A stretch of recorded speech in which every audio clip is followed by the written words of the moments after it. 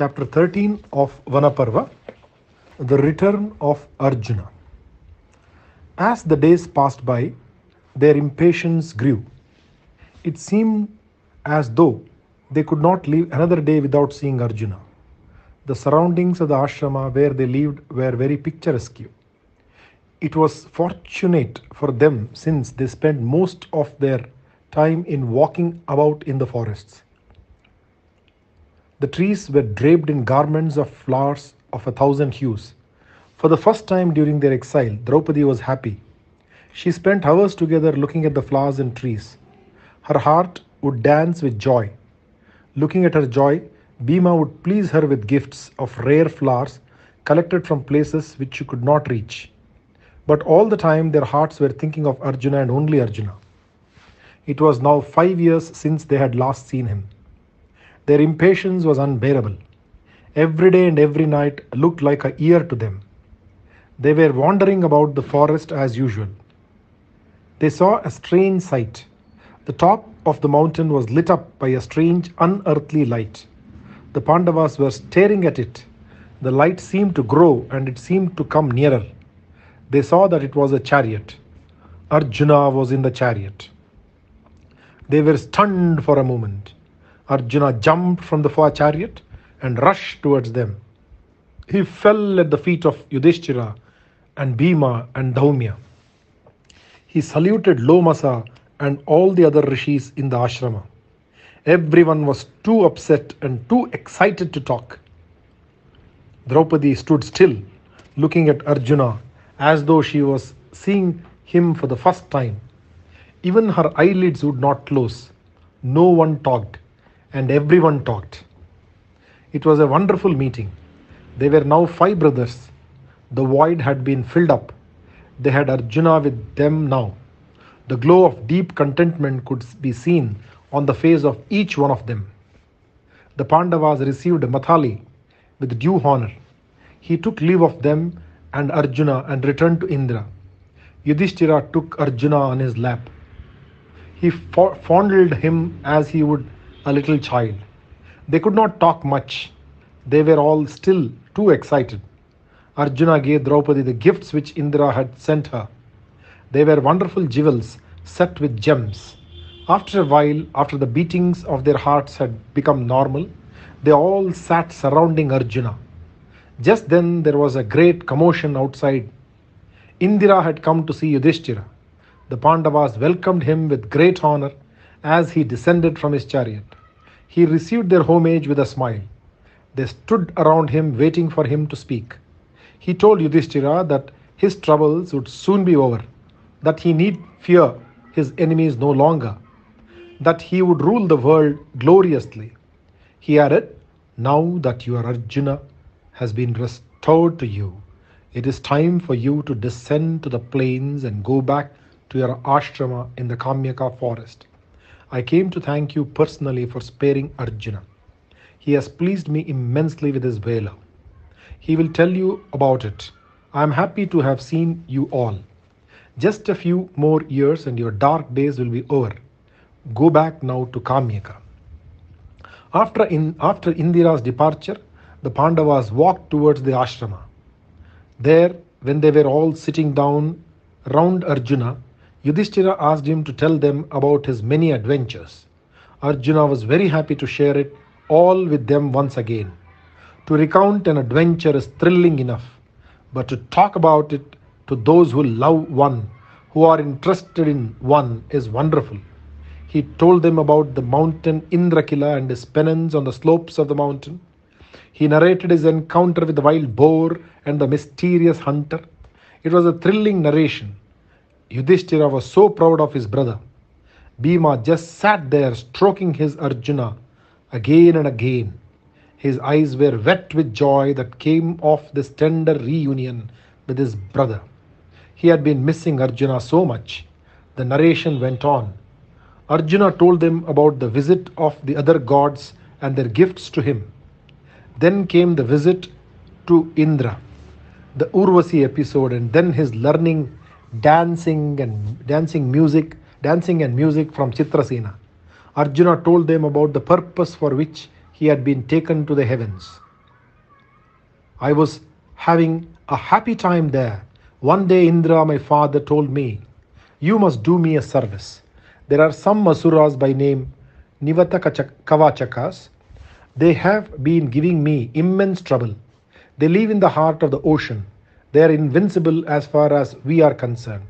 I want you to go and fight with them and destroy them. Indra placed a jeweled crown on my head. He said, From now on, you will be known by the name Kiriti because of this crown.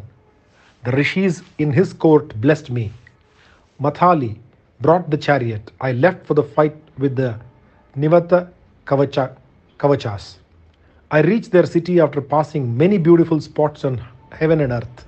The people there thought that Indra had come once again to fight with the Nivata Kavachas. They came out of their city when they heard the blasts from my conch. My challenge was taken up by them. The war was on.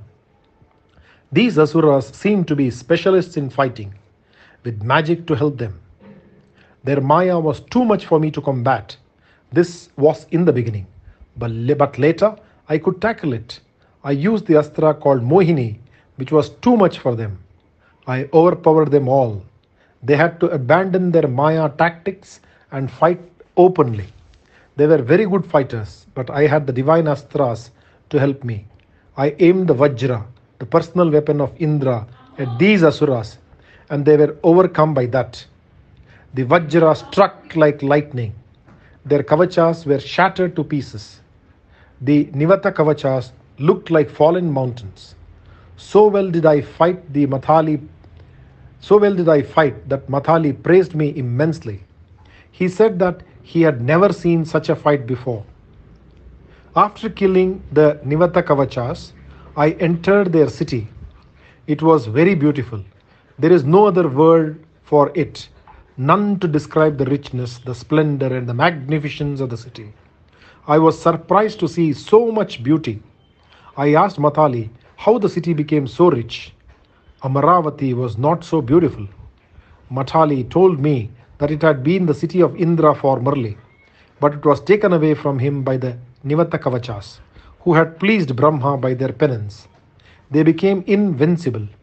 The Devas could not do anything to them, thanks to the boon of Brahma. That was why my father wanted me to go and kill them. I am a mortal and not a Deva. We returned to the city of Indra, Amaravati.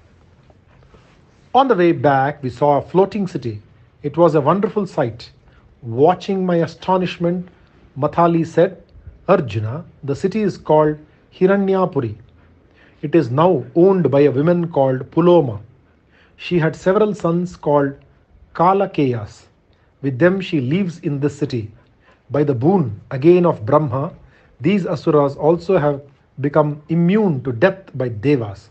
You have to fight them and destroy them as you did the others. We proceeded towards the city. I challenged the Kalakeyas to fight with me. They were not used to being challenged. They were so secure, but now they came out. The fight was on once again. I find I found it very hard to fight with them, but I had the astra called Pashupata. I used it. It destroyed the entire host of the Kala chaos. We returned to Amaravati. Indra welcomed me with great joy. Mathali recounted to him the fight on both occasions and he praised me and my prowess. Indra embraced me and blessed me. I felt so proud of myself. Indra said, You have done me a great service by killing these Kalakeyas and the Nivata Kavachas. I am very pleased with you. Your brother Yudhishthira is indeed very fortunate in his brothers. With you beside him, he need have no worry about the future. The Kauravas are as good as dead. Indra gave me an armor which is impregnable. I spent a very happy time with him. After some time, he told me, The time has come when we must part. Your brothers and Draupadi are eager to see you. Years have passed by since they lent you to me. I must now return to Yudhishthira what he was pleased to lend me. Indra asked Mathali to bring his chariot. I took leave of my father and Chitrasena and all the rishis in the courts in the court of Indra. I came here with great speed to meet you. I am now happy. Not all the pleasures of heaven can equal the joy I am now having in meeting you after all these years. They stayed in the Badari ashrama for many more days. The very mountains looked different to them now that Arjuna was there with them. They showed him all their favorite spots. They had a wonderful time there, but they had to think of the future. They decided that the time had come when they should return to the Kamyaka forest. Time had passed very quickly for them. The dreadful number 12 had now diminished to two. They had spent 10 years in exile. Bhima, Nakula, Sahadeva, and Arjuna approached their brother Yudhishthira with a suggestion that they should now remember their dear cousin Duryodhana. Bhima said, Yes, brother, it is time we remember the terrible oaths we have taken. It is time we think of that sinner Duryodhana. This is the eleventh year of the terrible exile which he has imposed on us. We must finish two years more. The one year when we have to live in disguise looms before me. They must now have forgotten us as they would be as would a bad dream, since we have been away from their neighborhood for five years. They are living in a fool's paradise. They may even be thinking that you have renounced the world and taken up the role of a rishi on the slopes of the Himavan. It is but right that we should descend from this beautiful Gandha Madana mountain and go back to the Kamyaka forest as Indra told us. We must remind Duryodhana that the Pandavas who had gone to the Himalayas have returned after receiving Arjuna. Our dear uncle would have learned from his excellent spies about the achievements of Arjuna. It will frighten them if we go back to the plains. Let them not think you and your brothers have renounced the world and decided to stay in Badari Ashrama. Our return will tell them that the four brothers of Yudhishthira have not forgotten their oaths. It is hard to think that we have to leave this beautiful spot. We have spent the happiest years of the exile here. It was so unlike an exile. Such is the charm it has exerted on us. Draupadi was very happy here. This is the only place where I saw her smile. But, my lord, we have to go. Three years more, and we will see you, Lord of the world. Balarama, Satyaki, and Krishna are waiting impatiently for the end of these dreadful days. Let us go back to the place. Let us go back to the plains. Jai Shri Krishna. Krishna Pranamastu. Chapter 14 Vanaparva Nahusha, the fallen god. The Pandavas set out on their journey to the plains. They took leave of everyone in the ashram and its neighborhood. The parting from the great mountain was the most painful part of it. They looked back again and again at the grand mountain called Gandhamadana. Lomasa went back to Amaravati after wishing them well. Yudhishthira was very sorry to let him go. He had been very happy in his company. He had learned so much from him. The Pandavas crossed the famous Prasravana mountain. Prasravana mountain. They came to Kailasa. They felt as though they had met an old friend. They reached the ashrama of Vrishaparva. They spent some time there. It was very pleasing to stay there. One day, Bhima had gone out hunting. He was wandering here and there. Suddenly, he came upon a big python. It was unbelievably huge. He had never seen the like of it before. Before he could realize that he was in danger, the python grabbed him. The moment it touched his body, Bhima felt all his strength ebbing away. The python would itself round him and would not let him go. All his immense strength was of no avail against the powerful grip of the python. He was amazed at the strength of this worm. Bhima said, Who are you? What do you intend to do with me? I am Bhima the Pandava. I am the younger brother of Yudhishthira. I have tackled lions and many tigers and elephants. I have been able to kill them all effortlessly. But you amaze me. What special strength is this of yours that can defy even me? The python, holding him firm, with its coils said, I am hungry. It is just my good luck that you came at the correct moment. As for my identity, it is a long story. I am a great king. Because of a curse, I am here on this earth in this form. I am waiting for my release. The python paused for a moment. Then it continued its story. The name of the name of King Nahusha must have reached your ears. I am Nahusha. I was drunk with power. In my arrogance, I insulted the sage Agastya. He cursed me to stay on this earth in the form of a python. He hurled me down from the heavens, and I have been here since how long I know not. I was penitent. Sage Agastya said, You must stay on the earth for a very long time. In course of time, King Yudhishthira of the lunar race will be your savior. I have lost my old memory. I remember only this. The sage said that this king would be able to answer all my questions on ethics, that he would come when I have in my coils the strongest man on earth. You are perhaps the strongest man on this earth and the brother of Yudhishthira. Perhaps the time of my release has come. Look at my fate. I like you, and yet I have to kill you, though I do not want to. I have to do it because it is part of my curse. Bhima was touched by the words of Nahusha. He was sorry for the fallen monarch. He said, I am not in the least angry with you. I am only sorry I have to die like this. I, have ho- I had hoped to die like a Kshatriya and not like a beast. I am not sorry to die, but I am sorry to leave my brothers now when they need me so. They are almost my hostages. They depend on me to win the war for them, war which is imminent. There is Arjuna, of course. He is my next brother. He is now a past master in all the arts of war. He has obtained all the divine astras from the god. It is no matter if I die, my brother can still be lord of the world. My Draupadi and my mother will miss me. My brothers who are devoted to me will mourn my death. I am sorry to leave them all and die. I am not afraid of death, but I hate to die before fulfilling my promise to Draupadi that I would break the thigh of Duryodhana and that I would drink the blood of Dushasana. It is no matter. We cannot defy fate. Bhima was clasped firmly in the coils of Nahusha. He could not move. Nahusha too did not want to kill him. He had to. He was trying to make up his mind to do the distasteful task. Yudhishthira saw several ill omens. He asked everyone where Bhima was. Draupadi told him that Bhima had gone out hunting. Since a long time had passed, Yudhishthira became worried.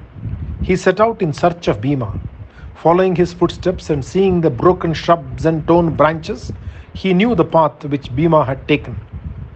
He went far, and all on a sudden, he saw Bhima caught in the coils of a tremendous python. Yudhishthira's heart almost stopped beating. He was horrified at the sight. He summoned up his failing courage and approached the two, one caught in the coils of the other. He asked Bhima, My child, what has happened to you? How did you get caught like this? Could you not extricate yourself? Bhima told him everything, how his strength was of no avail. Yudhishthira addressed the python I do not know who you are. I see only your strength. You can be no ordinary snake. No one has been able to withstand the strength of my brother. I am his elder brother Yudhishthira. Please tell me what food you want. I will bring you anything you like. Only please release my brother. He is very dear to me. Nahusha replied, I am Nahusha. Yudhishthira at once prostrated before him. The name of Nahusha, his ancestor, was a famous name. He was an inmate of the abode of Indra. Nahusha's name was a byword on the earth. He was now a python. Yudhishthira could not believe his ears. Nahusha told him about the curse of Agastya and about his promise that Yudhishthira would release him from the curse. He said, My only chance of release is now. I have your brother's life in my hands. If you will answer all my questions on ethics, I will release your Bhima and you can release me from the curse. It was a strange situation. Yudhishthira had to answer questions on ethics when his brother's life was at stake. So be it, said Yudhishthira. I will try to answer all your questions as best as I can. He prayed to his father to protect his mind and said, I am ready to answer your questions. Nahusha asked him very interesting questions. The first was, What is the definition of a Brahmin? A Brahmin, said Yudhishthira, is one who has three qualities truthfulness, generosity, sympathy, a dislike for cruelty, and a capacity to do tapas. This is a Brahmin and no one else. I repeat, a Brahmin, said Yudhishthira, is one who has three these qualities truthfulness, generosity, sympathy. Truthfulness, generosity, sympathy, a dislike for cruelty, and a capacity to do tapas. This is a Brahmin and no one else. Nahusha, what is supreme knowledge? Yudhishthira, Brahmin, in that there is no misery or happiness. Both look alike to the one who knows. Hence, when one has attained supreme knowledge, he will never be unhappy. Nahusha put similar questions on the order of society, on Varnashrama, division into four castes, and other important points of behavior and codes of living. The answers of Yudhishthira were sharp and correct, but one could also see the humility, the extreme humility of the man in the matter in which he in the, the man in the manner in which he framed the questions. But one could also see the humility, the extreme humility of the man in the manner in which he framed the questions. Yudhishthira never said, This is the answer to your question. He said, In my opinion, this seems to be the most satisfactory answer. One feels that one can borrow a leaf from the book of this king and learn to give opinions in a gentle and tactful manner, never offending the hearer. It was a great art which Yudhishthira had mastered the art of gentleness, the desire not to hurt anyone, not even with his words. Nahusha was pleased with this scholar and saint. He said, You are a great man, greater than all the wise men I have met so far. I am happy to release your brother. He is free from my coils. Having known you, how can I kill your brother? Yudhishthira was very happy to realize that Bhima was free. He was happy too to have met this wise man. While they had been talking, Yudhishthira had almost forgotten that Bhima's life was at stake. The many questions of the king were so interesting and fascinating that Yudhishthira was enjoying himself thoroughly. Now Yudhishthira wanted to ask many questions of the wise Nahusha, questions which, which he gladly answered. Time passed too soon for both of them. There appeared a chariot in the sky. It touched the earth and came to where they were. King Nahusha cast off his serpent skin and assumed the majestic form that was his before the curse. He ascended the chariot after bidding adieu to the brothers. A few moments, and the chariot had gone beyond their sight. The two brothers embraced each other and they returned to the ashrama with their minds full of this strange experience. The Pandavas had spent almost a year in the ashrama of Vrishapar 1 and on the slopes of Prasravana hill. Prasravana hill. They resumed their journey to the plains. They, tra- they traveled fast. They reached the river Saraswati. They crossed the river and reached Dvaitavana. It was their old dwelling place. It was there that Vyasa had come to them and asked Yudhishthira to send Arjuna to the north where he could perform tapas and please the Lord Shankara. It all seemed so far away now. They had traveled a long distance of time. They had finished 11 years of the exile. Just one year had to be spent in the forest, one year more in disguise, and then they were free of this dreadful exile. They were almost happy. They did not want to think of anything else. They were all thinking of only one thing war. War that was soon to be fought between the Pandavas and the Kauravas.